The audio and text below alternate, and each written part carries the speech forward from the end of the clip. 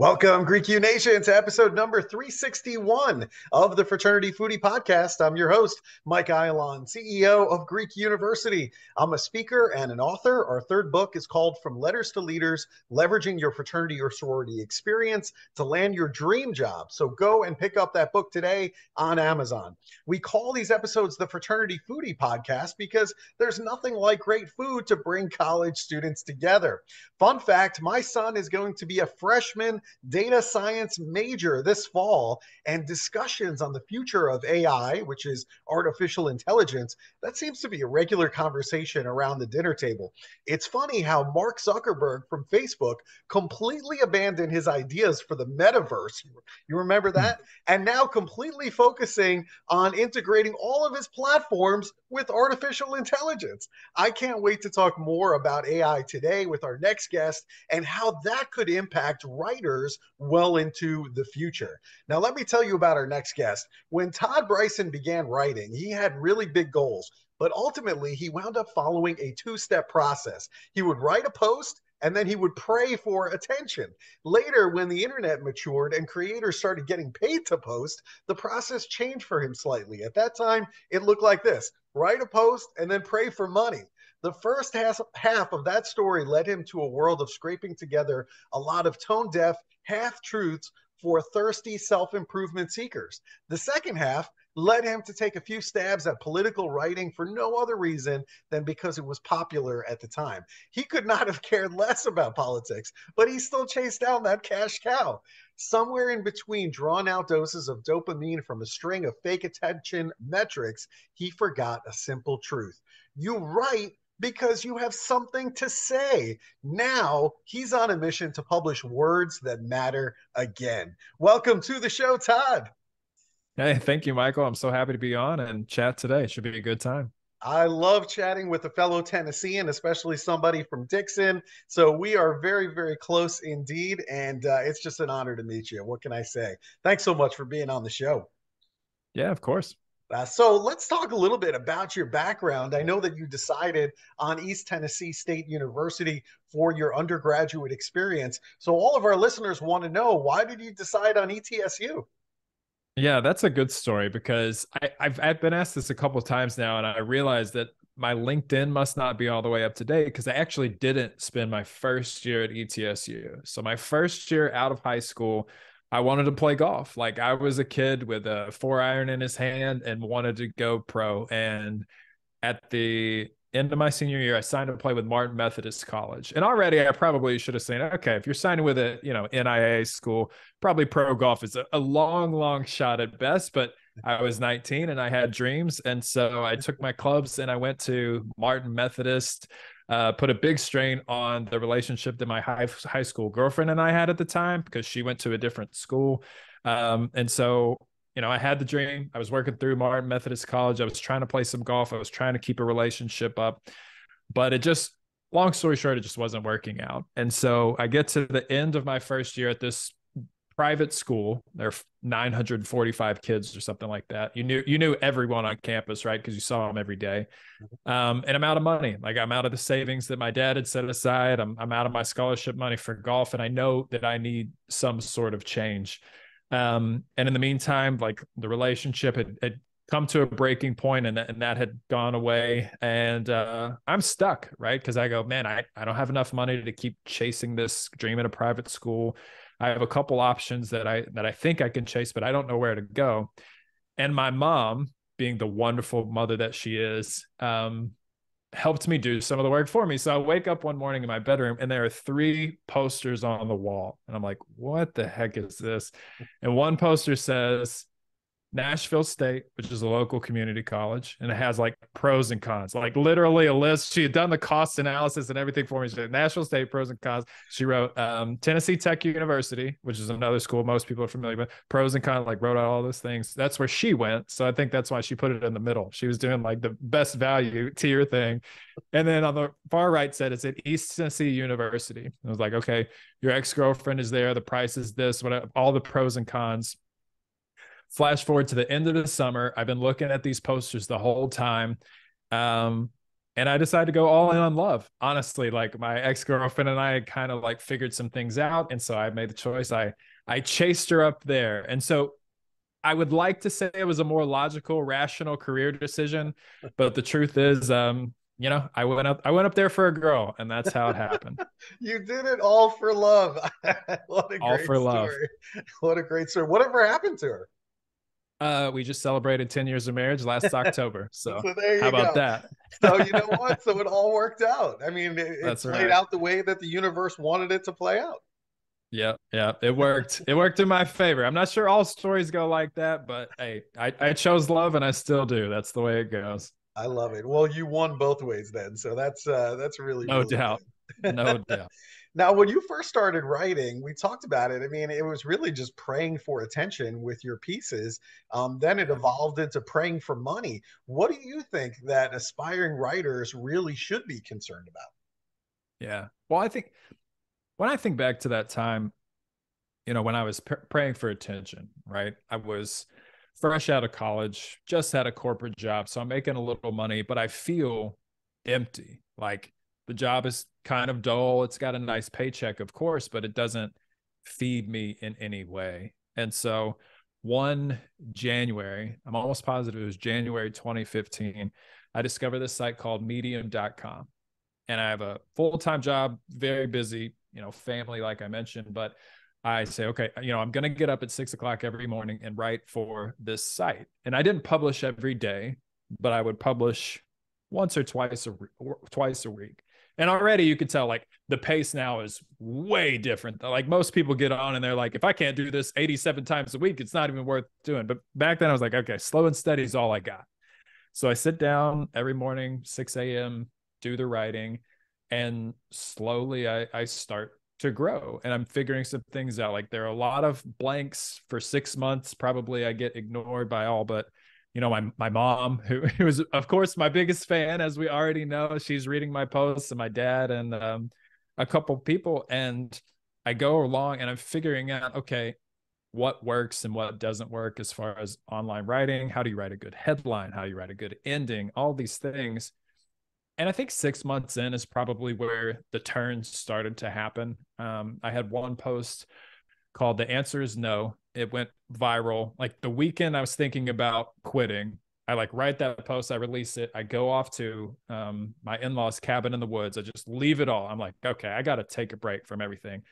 While I was away from the internet, away from my phone, I come back to a post that has hundreds of thousands of views and it's just a shock to the system because I'm like, oh, I didn't even know there were this many people out there, like regardless of, you know, who was doing the writing. And so that was kind of my first real I don't know, hit. We talked about the dopamine hit, but that that was like heroin for me. Yeah. Going viral was like heroin. It was the biggest rush I had ever received. And, you know, as you alluded to, I I chased that high and nothing else for probably three more years. Like I didn't care what the topic was. I didn't care if I was an expert. I didn't care if I knew anything about anything. I would write what I thought would be the most attention grabbing thing. And the results came like, you know, almost 100,000 followers on Medium, several tens of thousands elsewhere. But again, I hit this moment of this isn't feeding me. Like I went all of this way. I did all of this side hustling, things that I thought I loved to end up with the same feeling that I had in that corporate job of this is empty. This is not something I like to do. The money arc went very similarly, right? Like when the payouts started coming, it was I hadn't learned my lesson. It was like, oh, got the hit. It's a new heroin, right? It's a new drug. And I chased that for a while. But these days I've I've come to terms with okay, attention is kind of empty okay, money after a point, because let's like money's great, but after a point, chasing money is kind of empty. So I came all the way back full circle to why did I why did I want to start writing in the first place? When I was in the depths of my corporate job, like bored out of my gourd, literally reading like company manuals because I had nothing else to do.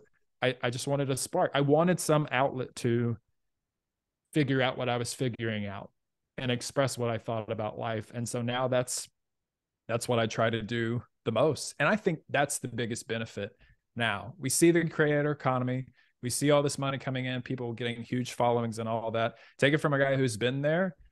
The greatest benefits of writing aren't that. It's just getting more in touch with yourself and understanding what you believe in a world full of people that have no idea what they believe. Mm so interesting as you described this dopamine hit you were getting when you were seeking attention. Mm. Now, you know, it makes a lot of sense to me when we look at TikTok and the rise of that platform where anybody can create an account and get that dopamine hit for going viral.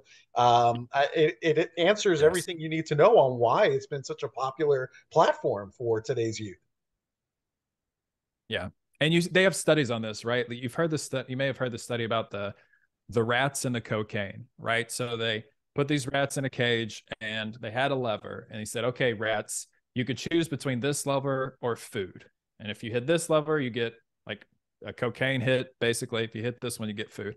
If the lever was you hit it and you get that hit every time, they would eventually plateau off and go back to the food because they were like, this doesn't like this hurts me long term. And they would go back to the food. But when they change the variable to sometimes that gives you that big cocaine hit and sometimes it doesn't, the rats literally killed themselves, like sitting there trying to get that hit again. And that's social media. Sometimes you get it, sometimes you don't. But because it's not predictable, that's why so many of us are are hooked and, and stuck in that world. What a great metaphor for social media. Boy, oh boy. Now, you know, the Writers Guild mm. of America, they recently went on strike. The people who write for all the TV yeah. shows and movies, they're not writing right now. So the new TV shows yeah. and movies are not going to get made. And the last time I checked, the sides seem to be very far apart. The Writers yes. Guild of America total asks would come to $429 million a year. The studio's mm-hmm. current offer, last time I checked about a week ago, stands at about 86 million a year. So how long can this strike go on for? Yeah, so you're looking at two sides that are roughly what 350 million dollars apart. That's a that's a fair gap. I would say, yeah. They they got some ground to cover. You know, I I get on podcasts and it's like it's I always try to decide whether I want to give a real prediction, right? Because best case scenario, you're right and you look really smart. Worst case scenario, it resolves tomorrow or before we even release this episode and you look like a goofball. I based on this strike versus the last strike because in 2008 there was a similar strike and it was similar motivations like you had this new wave of technology back then it was streaming now it's ai we can talk about that in a minute but writers just wanted they wanted as much of that pie as they could get. They knew there were all these new streams of income coming in. And they said, hey, wait a minute, like we create these shows. Producers have their role too, but obviously it's creative versus business. You got two big poles that only sort of understand each other. And so that strike went on, I think, four or five months less than half a year. It, it, was wrapped up pretty quickly. Everyone was kind of happy. We got some good SNL skits out of it, and life continued as normal. this one, I'm I'm just not so confident. Um, last week, you know, at time of recording this, it's kind of late May, but recently, um, the Writers Guild came out and said we're not we're not going to do the Tony Awards. Like we're, we're not going to write for the jokes for the Tony Awards. We're not going to show up for the Tony Awards. We're just going to blackball that whole thing. And the Tony Awards, for those who don't know, is is like Oscars for Broadway, right? Oscars for plays. Mm-hmm. There is no marketing anything that matches the Tonys for Broadway. Four of the five plays that are nominated for Best Musical don't even make the money back like week over week to put on the show. So like think about Hamilton, right? This huge standout musical because of, you know, a big charismatic star. That is so rare. It's hard to express how how unusual it is for a standout hit to happen. And even that show needed the Tonys to get its like second leg of life on the on, on the stage and have all this new crowd come see it and come ultimately, you know, a billion dollar show. Mm-hmm. But most shows won't. And especially without the Tonys, you're looking at a world where a lot of theaters just going to go dark because they have to go dark. And that speaks to the resolve on the writer's side of, yeah, we're pretty serious about this. Like, we're willing to jeopardize this whole line of business in which we participate because we need a fair stake, not only in the compensation, but we need some kind of assurance around AI that you're not going to like fire 200 of us and put in ChatGPT in, in our place kind of thing Yeah, I'm with you. I, I agree. I think that this is going to last a little while here. Um, you know, you know, let's talk about ChatGPT. I mean, the mm-hmm. WGA is also asking for contract language that ensures that AI is only going to be used as a tool, not yep. as a full-on replacement for all the human yep. writers. So, how much of a threat is AI and ChatGPT to the writers themselves? Uh, it's big. It's not big today but it's it's it's a legitimate threat. I to be honest with you, I don't I don't think they'll ever get that assurance. I think that AI will replace a significant chunk of staff writers. And I I hate that because I'm watching AI come up and saying, oh, like I'm nervous too about about everything. I think everyone wants some kind of assurance that new technology will not disrupt their way of life. And if I'm looking back over the next 2000 or the past 2000 years, it hasn't happened. Like you look at the car door or the the car came out with Henry Ford, put a whole lot of horse breeders and manufacturers, you know, like that whole business went basically to zero in a year. The typewriter comes out, and suddenly you don't need people handwriting and making all these receipt copies and all these other things. You know, printing the actual copy machine eliminates more work. And AI, to me, is the next step of that. It's it's not today, right? Like today a producer could not replace a team of writers and produce any show of quality whatsoever. But five years from now is it feasible to think a team of five could generate 24 episodes of a sitcom with ai assist? Absolutely.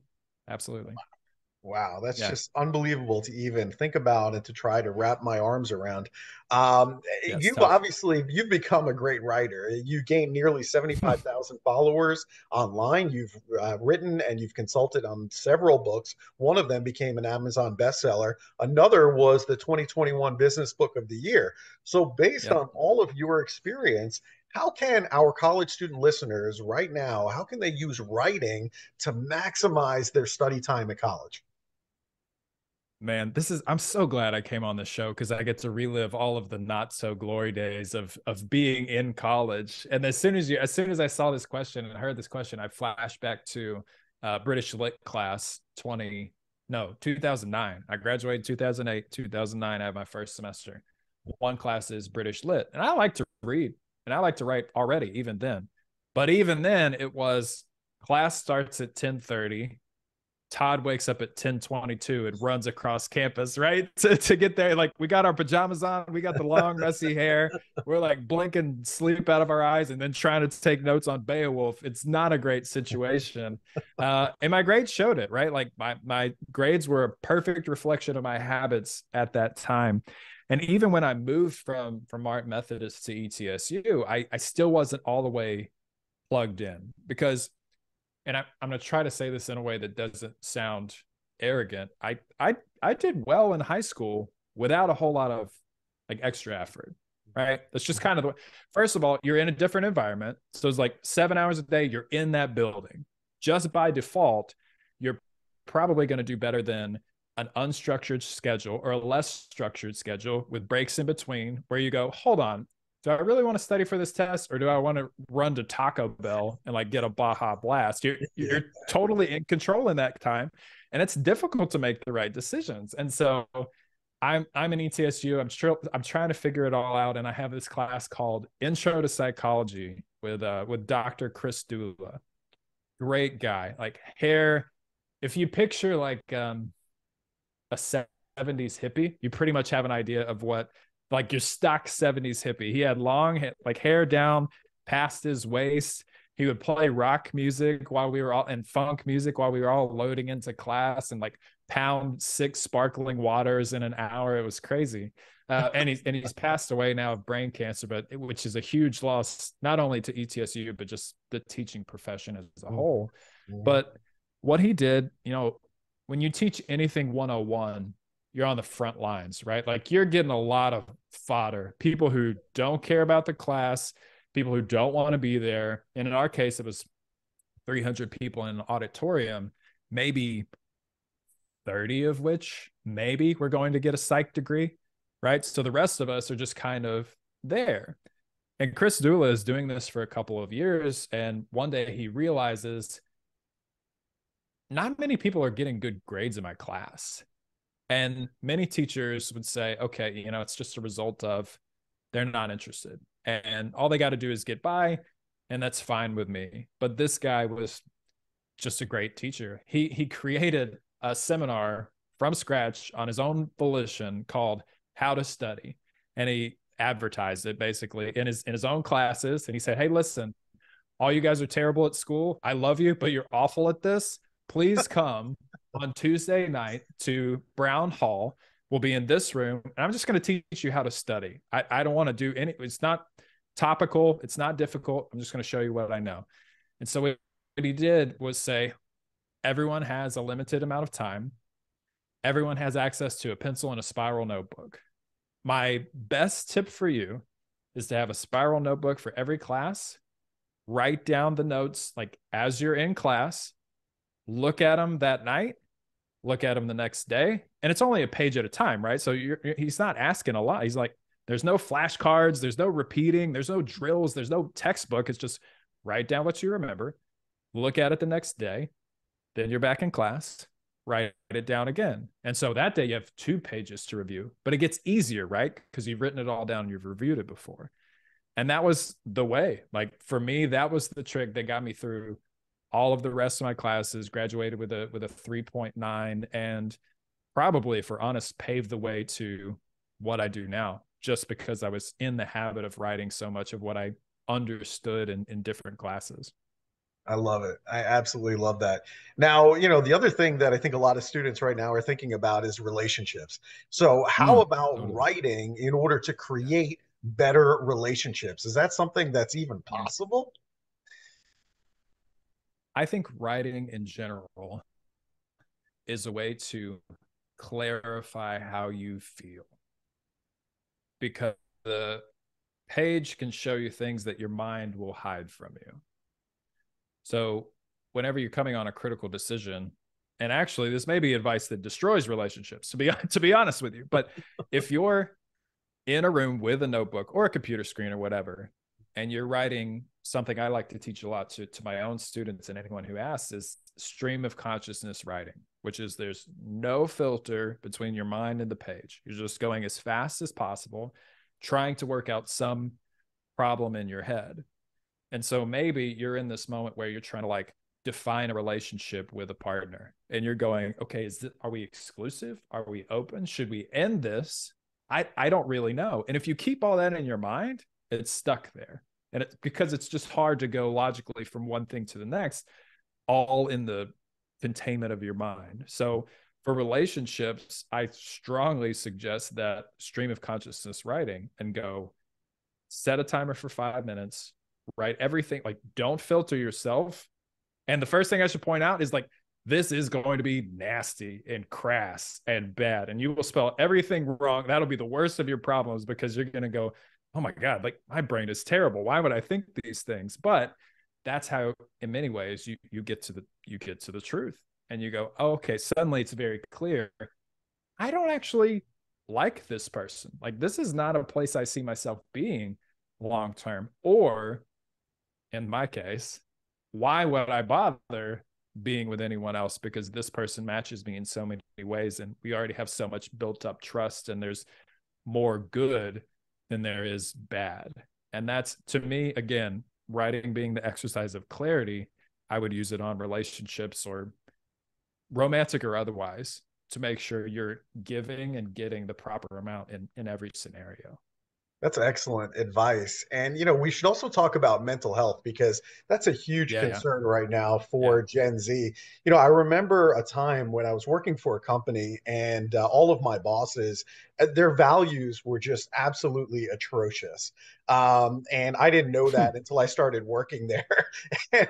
I probably should have gone to go see a therapist to kind of talk through some of this stuff um, but I didn't. And uh, I ended up, you know, years later, after I ended up leaving that company, um, I took a class in ethics in a master's program um, at Cumberland University in Lebanon. And uh, and in this ethics class, our teacher basically said, you know, I want you to write about the conflict between ethics and business you know, and that intersection. Mm. And I started writing that stream of consciousness. I literally locked my door in my office, and all day long, it was this stream of consciousness, all of this stuff that I needed to get out and put it onto paper so I can read it and process it. And it probably was the best therapy that I had ever been through. And so I guess my question for you is, you know, how can writing improve the students who are listening right now? How can it improve their mental health? Yeah. I think it's interesting that a lot of the things that make us feel better are now being scientifically validated to actually like now they have whatever equipment and technology and testing um, methods to verify that like yes doing this activity does make you feel better, which means like your hormones are aligned or your muscles are engaged or your brain's in the proper order or, or whatever it is. Writing is one of those things. They've, they've done studies at, um, at West Virginia and found that literally some of the benefits of writing are clarity of thinking, which I've talked about already, reduced depression and anxiety, um, immune system improvement. Literally, literally, there are studies that say, hey, if you write daily and journal, you will go to the doctor less often, which is bonkers. Like that makes no sense. That if I sit down with my little notebook every day, then I'm going to go to the walk-in clinic four fewer times in, in every year. But that's that's true. That's how it works. And so, in place of a therapist, and I'm big fan of therapy, so long as you can be completely honest with the therapist. That that's my criteria is like as long as there is that level of trust, which one is partly the therapist's responsibility and partly your responsibility to be that to be that open. That's what you're looking for when it when it comes to mental health. And in lieu of that therapy, do self therapy, right? Like the stream of consciousness is is an excellent exercise for this. Journaling, is a good exercise for this. There have been more studies, and I, I don't have them right here, but other universities have showed that writing about traumatic experiences eases the mental pain of those traumatic experiences because every time you write about it, you're able to see it in a new perspective and a new light. So, not only the perspective of current you looking at a past event. So you have the distance of time, right? Which in your brain, again, if it's stuck in the mind, it doesn't exist. But if mm. it's on paper, you're like, oh, right, that was a long time ago. So not only do you have that, but you're able to see it through the lens of the other person who is involved, right? You're able to see it through maybe your own errors and judgment at that time that led you to this place. And you're able to provide context around what would otherwise be you know trauma and emotion literally living in your in your muscles and in your mind um staying with you from day to day and year to year instead of exercising that and in a way vomiting it out through a writing practice really good stuff.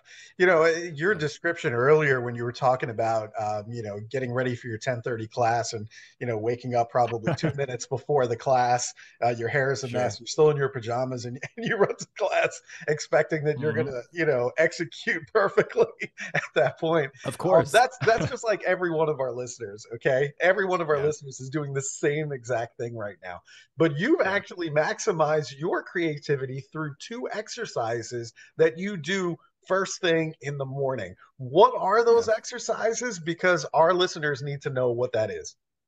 Yeah. So you you brought up something interesting by uh, bringing up the story of being in college again. It made me think of high school as well because these are the only two periods, like school at, at both levels, right? So elementary school, high school, and then college are the only times that you're grouped together by age.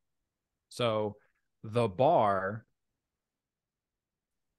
what's possible what su- what success looks like etc is set only by your peers until you get 22 23 24 you're out of college you're in the working world suddenly the bar is for guys who have and girls who have 20 years of experience right? So i i think that's a helpful mindset shift to go hey listen like it's big fish, small pond thing, right? Like whatever you're swimming in now is nowhere near the depth of, of what's really out there. And so the sooner you can go, hey, this isn't just like getting a better grade than Michael, who's sitting next to me in, in ethics class.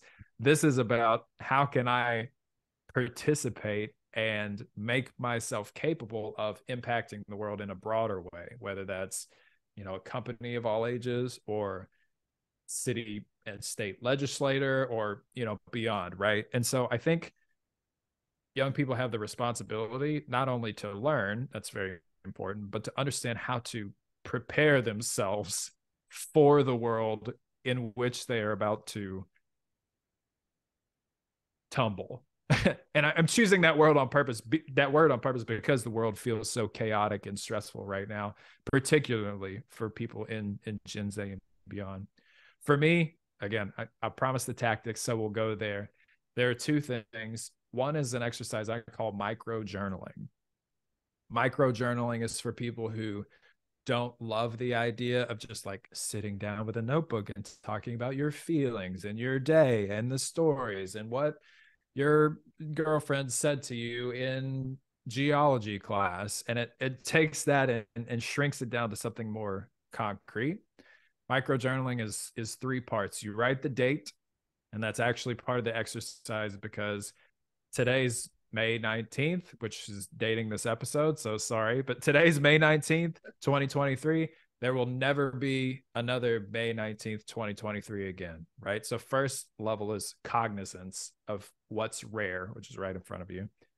The next step is to write 10 things, doesn't even matter what they are ideas for businesses, ideas for dates, ideas for studying, ideas for social events on the weekend, just 10 things. And what happens with that exercise is you get about halfway through and then your brain like runs out of stuff. And you go, uh, I don't, I don't know. I can only name like five business ideas today. But that friction right there is what you need to to push through. And really 10 is kind of arbitrary. But that that moment of your brain going, I don't think I have anymore is what activates the rest of your mind to go, well, now, but now let's get creative. And I find whenever I do that first, very first thing, every it's it's much easier to do it throughout the day. And then the third part of micro journaling is just writing something you're grateful for, right? Which is basically a bookend of, of the first part, which is going, here's the day, here's what I'm grateful for. If nothing else, it's a day that I got to live and a thing that I can't believe gets to be in my life. The second exercise is simply just writing a story from your life. And I think, you know, if your audience is, is college students, they're going, man, life is so slow. Like I remember everything that happens. There will be a time where you're going to look up and go, holy moly, I'm 35. What happened? Like I have a house and a dog and a kid and a wife. Like where, or, or a husband, where did, where did any of this come from? And I found that I had just like drifted um, basically three or four years of my life and I, I couldn't remember what happened and my you know somebody would tell a story be like oh yeah i forgot about that and so now every day this is a trick i picked up from uh from matthew dicks. He has a great book called storyworthy which is a, a must read i think for anybody who wants to write today. Um, but just one event one thing that happened. And so as you scroll through that pile you go okay like my life does have meaning. There are things that happened uh, that that I remember and were worth doing. Now I'm starting to see all those connections between writing and mental health. I love that you were talking yes. about sharing yes. what you're grateful for every single day because, you know, mental health, I mean, if this is something that, you know, is impacting you right now, uh, just sharing what you're grateful for every single day, I think can really help you through some of those difficult times that we all go through. Me, you, everybody on this planet. If you're a human, just being grateful for things and sharing that every day will help you. I promise. Yes. Yes. Yes, oh, for sure. Man such great stuff. Now, I'm about to embark on writing a dissertation. I'm a, in a doctorate program uh, in assessment, learning, and student success in higher education at MTSU. So, so knowing that, how can all of our writers in college, and maybe me too, make their papers yeah. and written assignments more memorable? Gosh. Okay. So first of all, sorry because I know dissert- dissertations are not to be taken lightly. So I wish you uh, must gust much gusto and courage on your uh, treacherous journey, my friend. That's right. Godspeed. Um, yeah. I, I think so. I'll, I'll give a blanket tip and then I'll kind of take it down into the nuance, maybe make it a, a bit more actionable. I think the the best thing that you can do now to make papers more memorable at any level is just just to tell a story of some kind. And it doesn't have to be mm. like a novel because most people hear, hear stories and they think novel and they'll go back to like peter rabbit from their childhood days and go like i don't i'm not going to tell a story. What are you talking about? But the basic structure of a story fiction or nonfiction made up or reality is here's the thing that we wanted. Here are the problems that happened when we tried to get it and then here's how we overcame those problems to be successful. So janie was having a lot of trouble getting her gpa up in her sophomore year. She had a phone call with her mom and her mom said hey if you don't get your gpa from a 2.5 to a 3.1 we're not going to pay for any more of your school. Janie says oh my gosh i got to figure this out. And then she goes, All right, how can I improve? I'm going to try studying by myself, but I'm too distracted. I'm going to try going to a tutor, but I can't show up on time. I'm going to try studying with friends, but that only works every so often. And so these are these are the problems that come up. She tries time and time again. So in your dissertation, it's way more complex than that, I'm sure. But the story of like, here is a student that was struggling. Here are the ways that she failed or he failed. And then here are the things that that stuck and so maybe we can use these to integrate into the curriculum as a whole to you know capture some of those uh, some of those folks who who may fall out and never graduate and get the education they want and paid for the the micro version of that is is just to build tension right like what's at stake if you don't tell people what's at stake why would they read the paper at all? It's not a requirement, which I find shocking. Like it's not a requirement to talk about what's at stake or the tension of your paper in, in any level. But that's what makes it more memorable. Suddenly, if you have a, you know, Voldemort in your Harry Potter story, so to speak, it's a lot more like, oh, it's not just Harry wandering through school. There, there is some force that is trying to get in the way of what you want to accomplish. And the better you can illustrate that problem, the the more memorable and the easier it is for someone to buy into your, your argument of like, oh yeah, like we should do something about this. Mm. Well, now you're making me feel a lot better about focusing on Good. qualitative research versus quantitative research. Oh, and totally. it's going to be all about early warning mechanisms of hazing in college fraternities and sororities to help ah. save lives. So yeah, yes, there yeah, yeah. there is a real reason why we're doing this. You know, we're going to save lives with this dissertation. I already want to read it. Yeah, see, and exactly that's the highest stakes, right? Because we got the young people stakes. who are losing the highest stakes. That's perfect. You got to put that. In. It's the highest stakes that I can think of. I mean, I can't think of any more mm-hmm. higher stakes than human lives, and especially young college students that have their entire careers ahead of them. Yet it's okay. cut short because of honestly stupidity. Um, so it's yeah. just complete stupidity. Yeah. So, uh, so I'm going to be invested in that. And, uh, and yeah, I'll definitely share my dissertation with you. I think you're going to yeah, find please do. Be, to be very, very good. Um, now, all right, we do love great food here at the Fraternity Foodie Podcast, and I know you know my neck of the woods in Franklin, Tennessee. I know mm-hmm. that you know Nashville, Tennessee very well. I need to know yeah. what is your favorite restaurant in the area so I can go and check it out. Okay. So where have you tell me a couple places that you really like and I'll see if I can tailor the recommendations. I mean, you know, here it's interesting because I'm actually a, transplanted New Yorker. So, you know, okay. in in you know, New York, you know, or on the, you know, East Coast somewhere, I'm looking for seafood. I can't get that, you know, here in, mm, yeah. in the Nashville area. It just doesn't exist. Landlocked. Landlocked. Yeah. So that's a mistake. yeah. So yeah. I end up gravitating to barbecue is is very good. Mm. So I'll stick to the barbecue choices. I think that's excellent here. Uh, you know, yeah. um, there's a ton of restaurants that I go to in the Gulch. Uh, you know, I, I tend okay. to like that area as well because I have some really good food there. So I like, you know, I like the higher end restaurants. Um, I like the trendy restaurants because I, I like to do a lot of people watching. And so there's a lot of that okay. going on in Nashville. So does that cue you in on maybe something that I would like? yeah, that's really good. So that's that's perfect. Barbecue sounds like you're covered, but if you so we'll we'll go by location. If you're yeah. in 12 South, like yeah. that area, yeah. there's a restaurant called um, I think Edley's is the yes. one that's over there. The yeah, barbecue. You've been there? Oh okay. yeah, it's Edley's is great. Great barbecue. Right up the street from that is a restaurant called Bar Taco. Yeah. Bar Taco's one of them. Have you been there? Of course, it's fantastic. Okay, all right, all right, all right, good. So you're two for two on haven't been. Did you get the watermelon margarita? No. Is that a bar okay. taco? There's a watermelon margarita at bar taco that is just oh chef's kiss. Um that have someone amazing. to drive because they're strong, but they're yeah. they're they're delicious. All right. Um, sounds like a plan. I'm definitely gonna check that out. High end, I'll give you a really high end one to leave with. Um Chef Chef Sean Brock owns a restaurant in Nashville and I'm blanking on the exact street name, but it's called the Continental. It's part of a big hotel downtown. Uh-huh.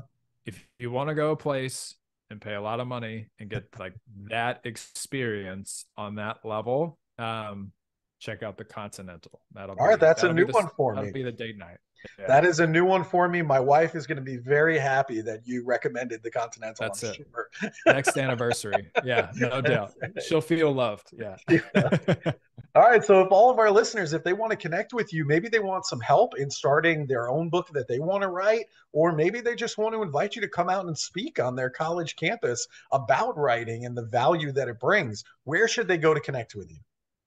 Yeah, I'd love that. Um, either way, I'm open to inquiries on all sides. You can go to what makes great writing that's the site that i run. There's a there's a page to sign up right at that url um, once you get the welcome email just forward it to me and tell me where you came from and what you want. I talk to literally everyone who comes in the door so i'd love to talk to you that sounds great. What makes great writing.com. Go and check out Todd's website, sign up, and uh, he'd be more than happy to help you get your book off the ground. So, Todd, thank you so much for sharing such great information with our college students. You have no idea how helpful that is for everybody listening. So, thank you so much for being on the show. Hey, thanks for having me. Honestly, this was fun, and next time we'll just talk about restaurants for half an hour. That's that sounds good to me. Right up my alley. So thank you so much. Thank you to our listeners for checking out our show today. If you enjoyed it, please make sure that you like it on social media, share it with other college students, and we hope to see you on another episode of the Fraternity Foodie Podcast. Thanks so much, and we'll see you next time.